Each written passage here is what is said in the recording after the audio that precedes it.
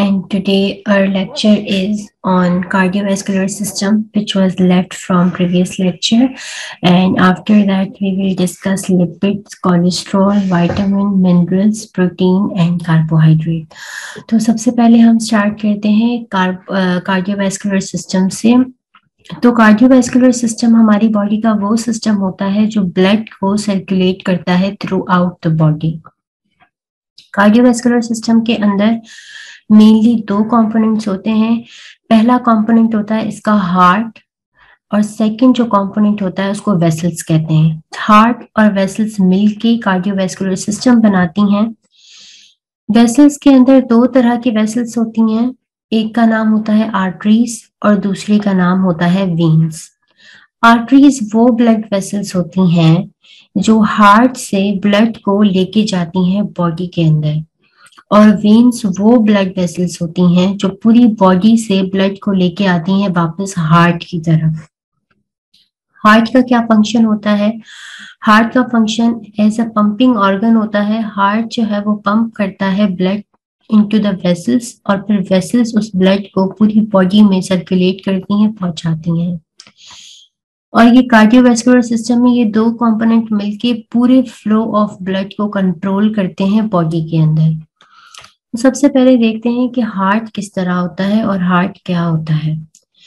अगर हार्ट की डेफिनेशन पूछी जाए तो हार्ट की डेफिनेशन होती है muscular organ heart is a muscular organ that pumps blood throughout the body simple definition है, इसमें इसका फ़ंक्शन भी एक्सप्लेन हो रहा है और इसका इसकी मार्फोलॉजी के बारे में भी हमें पता चल रहा है कि भाई ये मसल्स से बना हुआ है। और इसके अंदर जो मसल्स होते हैं, उनका नाम होता है cardiac muscle C A R T I A C cardiac M U S C L E S M U S C L E S cardiac muscles होते हैं इसके अंदर, जो पंप करते हैं ब्लड को थ्रू आउट द बॉडी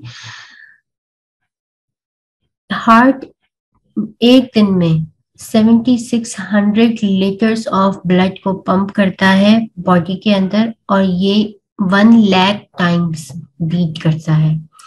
एक heart 24 घंटे के अंदर 3600 लीटर्स ब्लड को ट्रांसपोर्ट करता है पंप करता है और ये एक दिन में एक लाख मरतबा धड़कता है। अब इसका स्ट्रक्चर देखते हैं। ये मैंने यहाँ पे थोड़ा डिफरेंट तरह का स्ट्रक्चर बनाया हुआ है। असल में इस तरह से नहीं होता। ये सिर्फ़ एक्सप्लेनेशन के लिए। असल में कैसा होता है वो मैं आपको बताती हूँ। पहले आप ये देख लें कि ये किस तरह से इसमें बना हुआ है। हार्ट जो है बेसिकली एक ऑर्गन होता है जिसके अंदर दो ऊपर एट्रियम पड़े होते हैं, जिनको एट्रिया कहते हैं।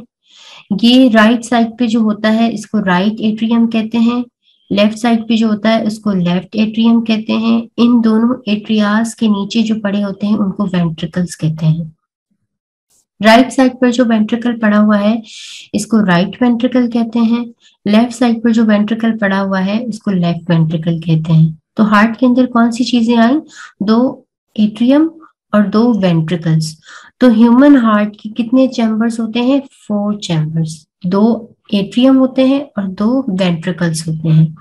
इसके अलावा हार्ट के साथ जो चीज़ें एसोसिएटेड होती हैं, वो होती हैं आर्टरीज और वेन्स अब मैंने आपको बताया आर्टरीज वो ब्लड वेसल्स होती हैं जो हार्ट से ब्लड को लेके जाती हैं into the body heart to body और वेन्स वो ब्लड वेसल्स होती हैं जो बॉडी से ब्लड वापस लेकर आती हैं हार्ट के अंदर।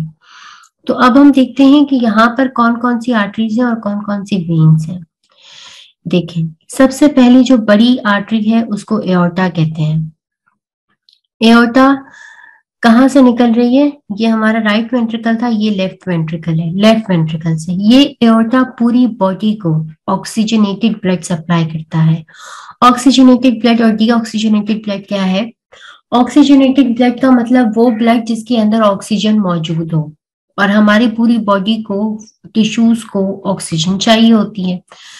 तो ये ऑक्सीजन ऑक्सीजनेटेड जो साफ़ सुथरा ब्लड है, वो पूरी बॉडी को सर्कुलेट करती हैं आर्टरीज और वेन्स जो है पूरी बॉडी से डीऑक्सीजनेटेड ब्लड मतलब जिसमें से ऑक्सीजन भी निकल गया है और न्यूट्रिएंट्स भी खत्म हो गए हैं, वो वाला ब्लड जो है ज़्यादातर होता है इसके अंदर डीऑक्सीजनेटेड खराब वाला ब्लड पूरी बॉडी से वापस लेकर आता है हार्ट के अंदर। फिर हार्ट उसको एक मैकेनिज्म के थ्रू साफ़ करवा के वापस बॉडी को देता है। तो एओर्टा के अंदर कौन सा ब्लड है? ऑक्सीजनेटेड ब्लड और वो पूरी बॉडी को सप्लाई कर रहा है। अब पूरी बॉडी को उसने ब्लड पहुंचाना है तो उसको थोड़ा ज़्यादा अच्छे तरीके से पंप करना होगा, क्योंकि आर्टरीज के अंदर जो है एओर्टा के अंदर उसे ज़्यादा प्रेशर जनरेट करना होगा, तभी वो आर्टरीज के अंदर जाएगा ना ब्लड इसलिए अल्लाह ताला ने हमारे लेफ़्ट वेंट्रिकल की वॉल को थिक बनाया है। इसकी वॉल थिक होती है तो ज़्यादा फोर्स ऑफ़ कॉन्ट्रेक्शन जनरेट होती है, अच्छे से पंप करती है और एओटा के अंदर प्रेशर ज़्यादा होता है, फिर ये पूरी बॉडी के अंदर जो आर्टरीज है, उनको ब्लड पहुंचाता है, फिर वो आर्टरीज जो है देखें एओटा के बाद आर्टरीज की बात कर रही हूँ मैं एओटा की में से बहुत सारी आर्टरीज निकलती हैं, फिर वो ब्लड सप्लाई करती हैं पूरी बॉडी को। दूसरी कौन सी आर्टरीज है इसमें? दूसरी जो मेन आर्टरी है, वो है pulmonary artery this one is pulmonary artery अब पल्मोनरी आर्टरी ऐसी आर्टरी है जो है तो आर्टरी लेकिन इसके अंदर जो ब्लड है वो ऑक्सीजनेटेड नहीं है डीऑक्सीजनेटेड ब्लड है। ये वाहिद आर्टरी है पूरी बॉडी के अंदर, जिसके अंदर कौन सा ब्लड होता है? डीऑक्सीजनेटेड ब्लड होता है। ये बात याद रखने की है पल्मोनरी आर्टरीज के अंदर डीऑक्सीजनेटेड ब्लड होता है।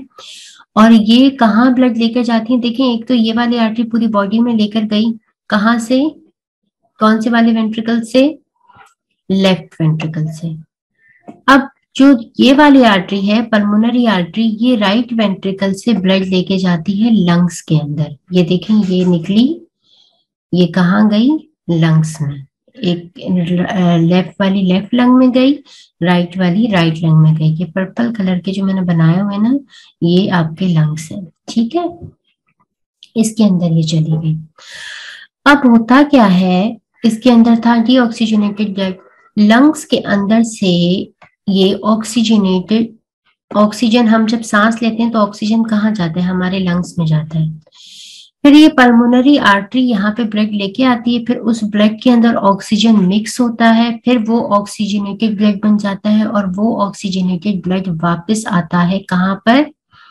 देखिए राइट से गई, अब कहाँ पर वापस लेकर आ रही है? लेफ़्ट एट्रियम में। लेफ़्ट एट्रियम में जो ब्लड वेसल्स लेकर आ रही हैं ब्लड को, वो है पल्मोनरी वेन्स अब मैंने कहा कि वेन्स वो होती हैं जो बॉडी से हार्ट में लेकर आती हैं। तो लंग्स तो बॉडी है ना लंग्स बॉडी का पार्ट है। बॉडी से वापस ला रही है ना हार्ट के अंदर, लेकिन ये वो वाहिद वेन्स हैं जिनके अंदर डी ऑक्सीजन ऑक्सीजनेटेड ब्लड होता है। ठीक है? बाकी जितनी भी वेन्स है, उनमें डी ऑक्सीजनेटेड ब्लड होगा, सिर्फ़ पल्मोनरी वेन्स में ऑक्सीजनेटेड ब्लड होगा। उसके अलावा, बाकी जितनी भी आर्टरीज है, उनके अंदर जो है ऑक्सीजनेटेड ब्लड होता है, सिर्फ़ पल्मोनरी आर्टरी के अंदर डीऑक्सीजनेटेड ब्लड होता है। ये दोनों बातें आपने याद रखनी है। ठीक है? फिर ये देखें पल्मोनरी वेन्स चार होती हैं, दो लेफ़्ट लंग से निकलती हैं, दो राइट लंग से निकलती हैं और ये आके कहाँ खुलती हैं? लेफ़्ट ऑरिकल में या लेफ़्ट एट्रियम में। फिर लेफ़्ट एट्रियम में ये साफ़ सुथरा ब्लड आ गया, फिर ये पंप करता है, फिर ये आता है लेफ़्ट वेंट्रिकल में, फिर लेफ़्ट वेंट्रिकल से एओर्टा के अंदर जाता है। अब बात ये थी कि यहाँ पर यहाँ पर कहाँ से आया डी ऑक्सीजनेटेड ब्लड जो यहाँ पर इसके अंदर चला गया पल्मोनरी आर्टरीज के अंदर कैसे गया, यहाँ पर कहाँ से आया? तो होता यह है कि जो हमारा राइट एट्रियम है, वहाँ पर दो वेन्स लगी होती हैं बड़ी बड़ी एक सुपीरियर वेना केवा एक इंफीरियर वेना केवा जो सुपीरियर वेना केवा है, वो हेड नेक और जो हमारी आर्म्स शोल्डर्स हैं, इन चारों जगह से लेकर आता है ब्लड को यहाँ पर। और जो इंफीरियर वेना केवा है, वो बाकी जितनी भी हमारी बॉडी है लेग्स एब्डोमेन और थॉरेक्स मेनली उन सब में से इंफीरियर वेना केवा ब्लड को लेकर आता है, कहाँ? राइट एट्रियम में। और इन दोनों के अंदर डीऑक्सीजनेटेड ब्लड होता है, खराब वाला ब्लड होता है, ठीक है? एओटा ने बॉडी को पहुँचाया ब्लड फिर बॉडी ने जो है उसको, उसमें से ऑक्सीजन ले लिया कार्बन डाइऑक्साइड वापस कर दी, वो कार्बन डाइऑक्साइड वापस गई वेन्स में वेन्स कहाँ आके खुली? जो अपर बॉडी की वेन्स थी, वो सुपीरियर वेना केवा में खुली, जो इंफीरियर बॉडी की वेन्स थी, वो इंफीरियर वेना केवा में खुली। ठीक है? तो क्या क्या है हार्ट के अंदर? Right atrium left atrium right ventricle left ventricle right atrium के अंदर दो वेन्स आगे खुलेंगी superior vena cava inferior vena cava और राइट वेंट्रिकल के अंदर जो है, फिर ये राइट एट्रियम से ब्लड आएगा राइट वेंट्रिकल के अंदर. फिर राइट वेंट्रिकल के अंदर है हमारे पास एक बड़ी सी आर्टरी जिसको पल्मोनरी आर्टरी कहते हैं. पल्मोनरी आर्टरी की ऑक्सीजनेटेड ब्लड लेके जाएगी लंग्स में। लंग्स से ऑक्सीजन उसमें मिलके आएगी। ये ऑक्सीजनेटेड था, फिर ऑक्सीजनेटेड बन के वापस आएगा लेफ़्ट ऑरिकल में। लेफ़्ट ऑरिकल में कहा से आएगा? दो, चार वेन्स उसको लेकर आएँगी pulmonary veins left pulmonary veins दो राइट पल्मोनरी वेन्स कहाँ लेकर आएँगी? लेफ़्ट एट्रियम में। लेफ़्ट एट्रियम से ये साफ़ सुथरा ब्लड आ जाएगा वेंट्रिकल में। वेंट्रिकल जो लेफ़्ट वेंट्रिकल है उसकी वॉल है थिक उस थिक वॉल उतनी अच्छे से कॉन्ट्रैक्ट करती है कॉन्ट्रैक्ट होके ये ब्लड चला जाता है। एओटा में एओटा में से फिर आर्टरीज निकलती हैं, वो पूरी बॉडी को सप्लाई करती हैं, फिर बॉडी उसमें से ऑक्सीजन ले लेता है, फिर ऑक्सीजन लेके कार्बन डाइऑक्साइड ब्लड को वापस करता है, फिर वो कार्बन डाइऑक्साइड वाली जो ब्लड है वापस आती है सुपीरियर और इंफीरियर वेना के में। ये था हार्ट का मैकेनिज्म और साथ में स्ट्रक्चर अब हार्ट में सिर्फ़ वेन्स और ऑरिकल्स तो है नहीं हार्ट में और भी चीज़ें हैं कौन कौन सी चीज़ें हैं? अब देखिए हार्ट के पास हार्ट के पास एक अपना जो है, क्या है? एक अपना सिस्टम है जनरेशन का इम्पल्स जनरेशन का, ठीक है? हमारा हार्ट दिन में कितनी मरतबा धड़कता है? एक लाख मरतबा। तो हर बार ये दिमाग को इतनी ज़्यादा जहमत नहीं देता। इसके पास एक अपना इम्पल्स जनरेट करने का मैकेनिज्म है। इसके अपने दो बॉस बैठे हुए इसके अंदर, जो इसको बताते हैं कि अब इस रेट पे धड़कना है, अब इस रेट पे धड़कना है, अब तेज़ी से धड़कना है, अब स्लोली जो है इसको बीट करना है। तो वो है, एक तो ऊपर पड़ा होता है इसका बॉस ऊपर बैठा हुआ है, जहाँ पे सुपीरियर वेना केवा है, वहीं पर इसको कहते हैं, इस स्टार को हम कहते हैं। इस स्टार का नाम है साइनो एट्रियल नोड ठीक है? साइनो एट्रियल नोड बड़ा बॉस है। इसका जो उसके बाद दूसरा जो है वो एवी नोड है। सही है? एवी नोड है। एवी नोड यहाँ पे पड़ा हुआ है, नीचे। ठीक है? यहाँ से इम्पल्स जनरेट होती है। ठीक है, यहाँ से जो है एक हुक्म आता है, फिर एवी नोट बता एवी नोट को ही हुक्म देता है। एवी नोट हार्ट के इस वेंट्रिकल्स में जो मसल्स पड़े हुए हैं, उनको बोलता है कि भाई कॉन्ट्रैक्ट करना है, फिर वो कॉन्ट्रैक्ट करते हैं और इस तरह से ब्लड सर्कुलेशन चलती रहती है। ठीक है, एक तो ये चीज़ होगी दूसरी चीज़ ये है कि जो हमारा राइट एट्रियम और राइट वेंट्रिकल है, इन दोनों के दरमियान वेल्व्स लगी होती हैं। क्या लगी होती हैं वेल्व्स उसको हम कहते हैं जो राइट एट्रियम और राइट वेंट्रिकल के दरमियान जो वेल्व लगी है, उसको हम कहते हैं ट्राई कस्पिड वेल्व मतलब उसके अंदर जो है वो तीन दरवाजे होते हैं। एक, दो, तीन। ये देखें मैंने तीन बनाए हुए ठीक है? ये क्या करते हैं कि देखें, अब जब हार्ट ये कॉन्ट्रैक्ट कर रहा है तो ऐसा भी तो हो सकता है ना कि ब्लड इसमें जाने के बजाय इसमें चला जाए, वापस ऊपर। ऐसा हो सकता है क्योंकि हार्ट तो कॉन्ट्रैक्ट कर रहा है, दोनों दरवाजे खुले हुए हैं। तो ये जो है बेसिकली तीन दरवाजे हैं जो राइट एट्रियम और राइट वेंट्रिकल के दरमियान लगे हुए हैं। जब इसमें राइट वेंट्रिकल ने कॉन्ट्रैक्ट करना होता है ना तो ये तीन दरवाजे बंद हो जाते हैं। ये बंद हो जाते हैं और ब्लड के बैकवर्ड फ्लो को रोकते हैं। तो हार्ट के अंदर कुछ वेल्व्स भी दिए हैं, अल्लाह मियाँ ने हमें, जो बैकवर्ड फ्लो को रोकते हैं। इसी तरह से हमारे पास इसमें भी है। लेफ़्ट वेंट्रिकल में भी दो वेल्व्स हैं। यहाँ पे जो है तीन दरवाजे, एक, दो, तीन, इसलिए इसको ट्राई ट्राइकस्पिक वेल्व कहते हैं। यहाँ पे दो हैं। एक, दो। ये भी बंद हो जाते हैं जब लेफ़्ट वेंट्रिकल कॉन्ट्रैक्ट करता है। इसको हम कहते हैं बाइकस्पिक वेल्व ये ज़्यादा स्ट्रॉन्ग वाले दरवाजे होते हैं, ये हल्के फुल्के वाले दरवाजे होते हैं, इसलिए यहाँ तीन की ज़रूरत पड़ी है, यहाँ अच्छी क्वालिटी वाले बाइकस्पिड वेल्व होते हैं दो ही काफ़ी होते हैं, अच्छे से क्लोज कर देते हैं इसको, ठीक है? ये दोनों बंद हो जाते हैं जब वेंट्रिकल्स कॉन्ट्रैक्ट करते हैं। इसी तरह से ये वाले जो है, एक एओटा और एक पल्मोनरी आर्टरी यहाँ पर भी वेल्व्स लगे होते हैं। ये भी इसको सेमिल्यूनार वेल्व्स कहते हैं। क्यों सेमिलुनार वेल्स कहते हैं? क्योंकि इनके जो दरवाजे हैं ना वो आ, हाफ़ मून की तरह होते हैं इस तरह से ये इस तरह से बने ठीक है? यूँ तीन दरवाजे बने होते हैं इसलिए इसको क्या कहते हैं? सेमिलुनार ये एक सेमी लूनार ये दूसरा सेमी लूनार मतलब हाफ़ मून हाफ़ मून की तरह। ठीक है ये इस तरह से बने होते हैं और ये इस तरह से क्लोज हो जाते हैं। ये पूरी स्पेस जो है ना इसको क्लोज कर देते हैं ये मिलके। और फिर ज़ाहिर सी बात है, इनके अंदर भी एक्स्ट्रा ब्लड भी नहीं जाता और यहाँ से जब प्रेशर में ब्लड आ रहा होता है तो इनके अंदर नहीं जाता। एक प्रॉपर तरीके से आता है, पहले यहाँ से यहाँ आएगा, फिर ये दरवाजे बंद होंगे, फिर यहाँ से यहाँ जाएगा। जब यहाँ से यहाँ आएगा ब्लड तो ये बंद हो जाते हैं। जब यहाँ से, इस वेंट्रिकल से, इन एट्रियस इस पल्मोनरी आर्टरी के अंदर जाता है तो ये वाले वेल्व्स बंद हो जाते हैं। तो हमारे हार्ट में कितने वेल्व्स हुए? चार तरह के वेल्व्स हुए। एक ट्राइकस्पिड जो दो एट्रियम और राइट एट्रियम और राइट वेंट्रिकल के दरमियान है। एक बाइकस्पिड जो लेफ़्ट एट्रियम और लेफ़्ट वेंट्रिकल के दरमियान है। एक जो है वो एओटिक वेल्व जो एओटा के अंदर ऐसे ऐसे वेल्व्स लगे हुए हैं। उसको एओटिक वेल्व कहते हैं और एक पल्मोनरी वेल्व्स जो यहाँ पे लगे होते हैं। ये दोनों जो वेल्व्स हैं, इनको कलेक्टिवली सेमिल्यूनार वेल्व्स कहते हैं, क्योंकि इनकी स्ट्रक्चर ऐसा बना होता है। ठीक है? ये हो गया हमारा हार्ट का स्ट्रक्चर और उसका फ़ंक्शन अब वेल्व्स का काम क्या है? प्रिवेंट बैक फ्लो अब ये है रियल ह्यूमन हार्ट इस तरह से नज़र आ रहा होता है हमारा ह्यूमन हार्ट चेस्ट में.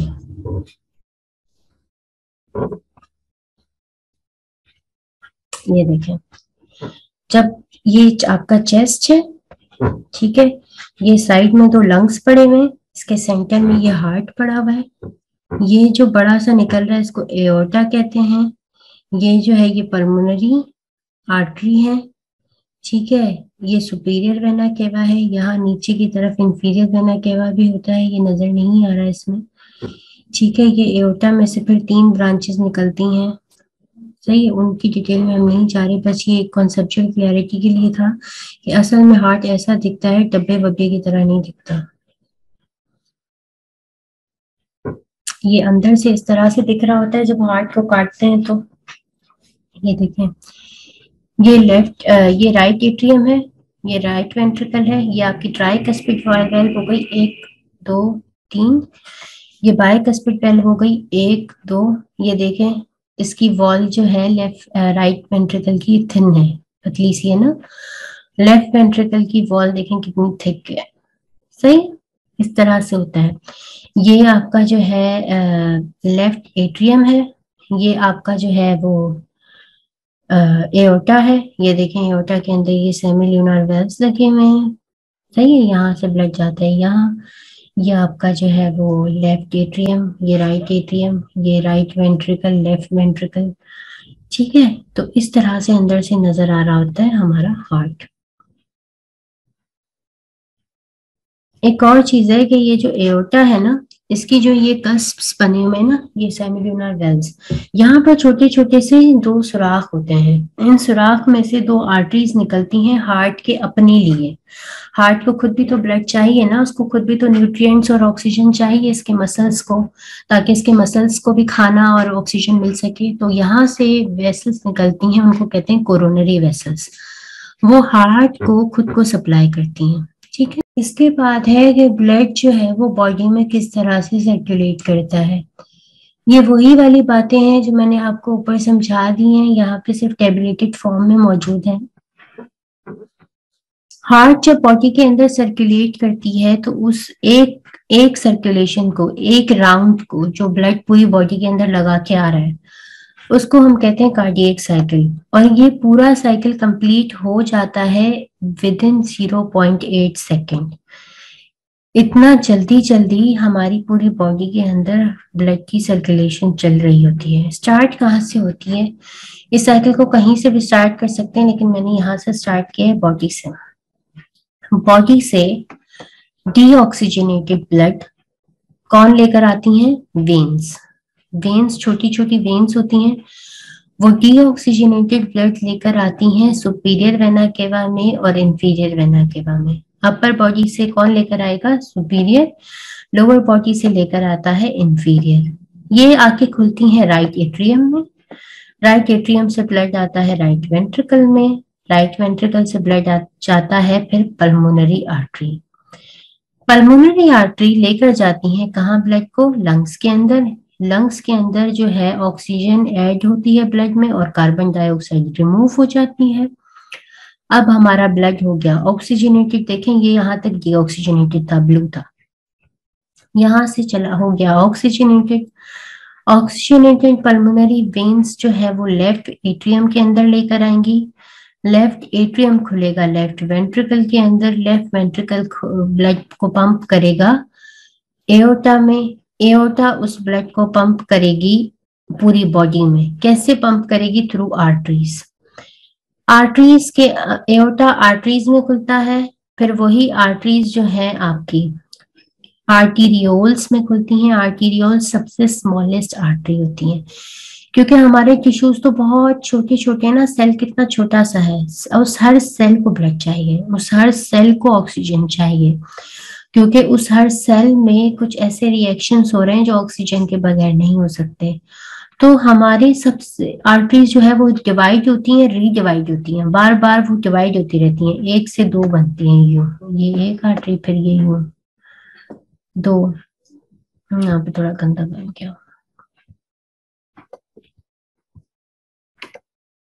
एक आर्टरी जो है वो बहरहाल डिवाइड होती है दो में, इस तरह से एक आर्टरी आई। अभी एक में डिवाइड हुई, ये दो में डिवाइड हुई, ये वाली दोबारा से डिवाइड होगी ठीक है तो इस तरह डिवाइड होते होते बहुत छोटी बन जाती हैं ये, और वो जो छोटी वाली होती है, उनको कहते हैं आर्टीरियोल्स ठीक है? आर्टीरियोल्स भी फर्दर डिवाइड होती हैं और बना देती हैं कैपिलरीज कैपिलरीज इतनी छोटी होती है, इतनी छोटी होती है कि इनका जो बोर होता है ना उसको देखने के लिए हमें माइक्रोस्कोप यूज़ करना पड़ता है। इसका जो सुराख होता है ना, कैपिलरी का, बहुत छोटा होता है। वहाँ से सिर्फ़ एक ही सेल गुजर पाता है, ठीक है? तो ये कैपिलरीज जो है, ये हमारे टिश्यूज को सप्लाई करती है। जो हमारी स्किन वगैरह है और हमारी बॉडी का हर जो हर जो पार्ट है ना, उसको बहुत छोटे लेवल पे जाके, उसको बहुत डीपली जाके कैपिलरीज जो है वो ऑक्सीजन और न्यूट्रिएंट्स पहुंचाती हैं। फिर कैपिलरीज जो है, वो ज्वाइन होती हैं और वेन्यूल बनाती हैं। वेन्यूल सबसे छोटी वेन्स होती हैं। फिर ये वेन्यूल्स जो है वो वेन्स बनाते हैं। वेन्स जो है वो वेना केवाज बनाते हैं और इस तरह से हार्ट के अंदर ब्लड वापस आ जाता है। अब यहाँ पे कुछ चीज़ें बहुत सिग्निफिकेंट है। क्या क्या एक तो कार्डियक साइकिल जो है इसकी लेंथ जो है two point zero point eight second होती है। उसके अलावा हम जो है हार्ट साउंड सुनते हैं स्टेथोस्कोप लगा के। वो साउंड्स कहाँ से आती हैं? तो जो पहली हार्ट साउंड है, वो तब बनती है। मैंने आपको बताया ना, जब ब्लड आ जाता है किसके अंदर? जब हमारे पास ब्लड जो है वो उसमें वेंट्रिकल्स के अंदर आ जाता है तो आपके पास आपको पता है कि वेल्व्स क्लोज हो जाती हैं। तो जब एट्रियोवेंट्रिकुलर वेल्व्स एट्रियोवेंट्रिकुलर वेल्व्स कौन सी हैं? ट्राइकस्पिड और बाइकस्पिड जो एट्रिया और वेंट्रिकल्स के दरमियान जो वेल्व्स थी ना, वो जब क्लोज होती हैं तो एक जैसे दरवाज़ा बंद होता है तो साउंड प्रोड्यूस होता है ना? इसी तरह जब वो वेल्व्स बंद होती हैं तो बहुत प्रेशर में बंद होती हैं और वो साउंड प्रोड्यूस करती हैं। उस पहली साउंड को कहते हैं लब। ये कब प्रोड्यूस होता है? जब सिस्टोल होता है। जब सिस्टोल होता है जब हार्ट जो है वो कॉन्ट्रैक्ट करता है। हार्ट ने कॉन्ट्रैक्ट किया आ, ए, आ, आ, जो हमारे एट्रियम्स हैं वहाँ से ब्लड आ गया वेंट्रिकल्स के अंदर। अब ज़ाहिर वेंट्रिकल्स के अंदर ब्लड है तो उनको तो बंद होना है क्योंकि अब वो दोबारा से कॉन्ट्रैक्ट करेंगे। वो हो जाते हैं बंद वेल्स हो जाते हैं बंद और प्रोड्यूस करते हैं साउंड लब अब दोबारा से जब एक जब कॉन्ट्रेक्शन पूरी कंप्लीट होती है और वेंट्रिकल से ब्लड चला जाता है कहाँ पर? एओटास के अंदर। तो एओटिक और पल्मोनरी वेल्व्स भी क्लोज होती हैं ताकि बैकवर्ड फ्लो ना हो। क्योंकि देखिए ना, यहाँ से अगर ब्लड चला गया, यहाँ पर, यहाँ से अगर ब्लड यहाँ पे चला गया तो इनका भी तो बंद होना लाजमी है ना, क्योंकि ये ड्यू टू ग्रेविटी वापस भी तो आ सकता है ब्लड तो पहला साउंड कब प्रोड्यूस हुआ? जब ये बंद हुए, दूसरा साउंड तब प्रोड्यूस होगा जब ये दोनों बंद होंगे। तो इनके बंद होने की वजह से क्या प्रोड्यूस होते हैं? साउंड्स प्रोड्यूस होते हैं जो हमें स्टेथोस्कोप पे सुनाई देते हैं। पहला हार्ट साउंड होता है लब। लब सिस्टोल के सिस्टोल जब होता है, जब कॉन्ट्रैक्ट होते हैं जो हमारे जब वेंट्रिकल्स की जो है कॉन्ट्रैक्शन होती है, तब ज़ाहिर सी बात है, इसके वेल्स क्लोज होते हैं और सिस्टोल होता है और सेमिल्यूनर वेल्स तब क्लोज होते हैं जब डायस्टोल होता है, जब हार्ट रिलैक्स करता है, ठीक है? और तब कौन सा प्रोड्यूस होता है? साउंड डब, ठीक है? डायस्टोल डब सिस्टोल जो है वो लब ठीक है तो डायस्टोल तब प्रोड्यूस होगा जब हार्ट रिलैक्स करेगा, क्योंकि अब हार्ट रिलैक्स पोजीशन में है तो वापस आ सकता है ना ब्लड एओटिक और पल्मोनरी वेन से एओटा और पल्मोनरी आर्टरी से वापस आ सकता है। तो उस वापस आने को प्रिवेंट करने के लिए उनके वेल्स का क्लोज होना बहुत ज़रूरी है और वेल्स के क्लोज होने की वजह से क्या होता है? साउंड प्रोड्यूस होता है। जब एवी वेल्स क्लोज होते हैं तो लव जब सेमिल्यूनर वेल्स क्लोज होते हैं तो फिर डब अब इसके बाद कुछ डेफिनेशन है। सबसे पहली डेफिनेशन है ब्लड प्रेशर की। ब्लड प्रेशर क्या होता है? ब्लड प्रेशर वो प्रेशर होता है जो ब्लड के ऊपर एक्सर्ट होता है आर्टेरियल वॉल्स देखिए, जब हार्ट कॉन्ट्रैक्ट कर रहा है तो ज़ाहिर एक प्रेशर जनरेट हो रहा है ना। जब भी कोई चीज़, किसी चीज़ को हम ज़ोर से जो है वो दबाते हैं तो उसके अंदर जो प्रेशर है वो बढ़ जाता है। ठीक है? वही प्रेशर कहाँ एग्जर्ट करेगा? वो आर्टरीज के ऊपर एग्जर्ट करेगा, क्योंकि जहर वहीं पर ब्लड की ब्लड का फ्लो का डायरेक्शन तो आर्टरीज की तरफ़ है ना?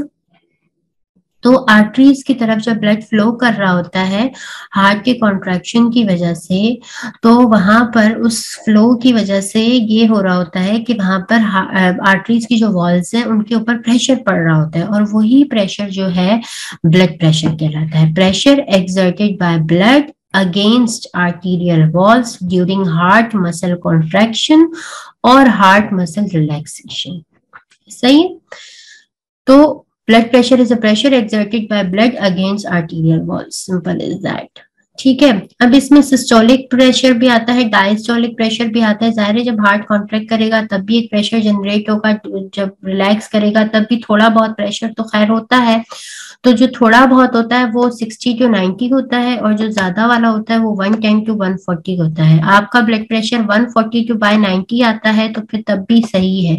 140 बाय 90 जब, से जब अब ऊपर चला जाता है तो उसका मतलब आप हाइपर टेंसिव है, आपको जो है वो ब्लड प्रेशर की बीमारी है।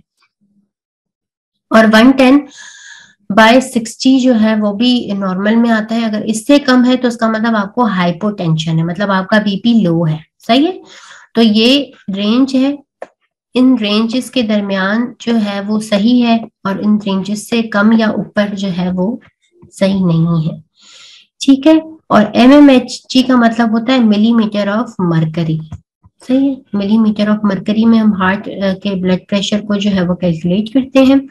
इसके बाद पल्स क्या है? पल्स जो है, अब ज़ाहिर एक प्रेशर आ रहा है किसी भी चीज़ के ऊपर तो वहाँ पर एक बल्ज प्रोड्यूस होगा। ठीक है, क्योंकि ज़ाहिर है ब्लड जो है वो तेज़ी से फ्लो कर रहा है किसी भी चीज़ में। अभी आर्टरी है, यहाँ पे पड़ी हुई है। यहाँ पे अगर मैं इतना सारा जो है वो ब्लड को फ्लो कर दूँ बहुत सारा ब्लड इसमें जो है वो चलना शुरू हो जाए तो मुमकिन है कि इसके अंदर एक बल्ज प्रोड्यूस हो इस तरह से, क्योंकि आर्टरीज की वॉल तो इलास्टिक है। ठीक है इलास्टिक जो भी चीज़ होती है, जैसे रबड़ बैंड होता है, उसको आप खींचते हो तो वो बड़ा हो जाता है ना। तो इसी तरह से जब इनके ऊपर भी प्रेशर से ब्लड आता है तो ये वो हो सकते हैं। इस तरह से उनके अंदर बल्ज प्रोड्यूस हो सकता है। वो बल्ज जो है वो आपको थम के ऊपर फील का फील होता है जब आप पल्स देख रहे होते हो अपनी। जब आप पल्स देखते हो तो बाकायदा ऐसा लगता है कि अंदर कोई चीज़ है जो ऊपर हो रही है फिर नीचे हो रही है। तो वो जो ऊपर नीचे हो रही है, वो बेसिकली आर्टरी की वॉल होती है आर्टरी की दीवार होती है जो ऊपर नीचे हो रही होती है ब्लड के प्रेशर की वजह से, क्योंकि ब्लड इसमें बहुत तेज़ी से आ रहा है। ठीक है? तो पल्स क्या है? Pulse from each contraction produces blood blood जो है from each contraction produces a bulge in the artery we call that bulge a pulse simple is that एक पल्स जो होता है, इसका मतलब होता है कि हार्ट ने एक मरतबा कॉन्ट्रैक्ट किया। तो ना आप पल्स को चेक करते हुए बताते हैं ना कि हार्ट बीट कितनी है। पल्स को हम चेक करते हैं। पल्स अगर 72 है तो इसका मतलब हार्ट ने एक मिनट के अंदर 72 टाइम्स कॉन्ट्रैक्ट किया। हाँ पल्स अगर 100 है तो इसका मतलब आपका हार्ट जो है वो 100 टाइम्स कॉन्ट्रैक्ट कर रहा है, ठीक है? तो हार्ट रेट क्या है? Number of times the heart beats number of time जो दिल कितनी मरतबा एक मिनट के अंदर धड़कता है, इसको हम कहते हैं heart rate number of times the heart beats per minute एक मिनट के अंदर दिल जितनी मरतबा धड़केगा, उसको हम कहेंगे कि ये इसका हार्ट रेट है। ठीक है? ये नॉर्मल होता है सेवेंटी से नाइन्टी के दरमियान। ठीक है नाइन्टी से सेवेंटी से नाइन्टी के दरमियान नॉर्मल होता है। अगर फिफ्टी के नीचे चला गया तो उसका मतलब ब्रेडी कार्डिया है। मतलब बहुत कम है हार्ट रेट और अगर हंड्रेड से अबव चला गया तो उसका मतलब टैकी कार्डिया है। ठीक है, ये बातें आपने याद रखनी है छोटी छोटी ये एमसीक्यूज में अक्सर आ जाती होती है। सही है below 50 bradycardia above 100 tachycardia standard जो हार्ट रेट होता है वो 72 बीच पर मिनट होता है। नॉर्मली 72 टाइम्स ही हमारा दिल जो है वो धड़कता है और इतनी मरतबा ही हमें पल्स भी फील हो रही होती है, ठीक है? ये हो गया हमारा हार्ट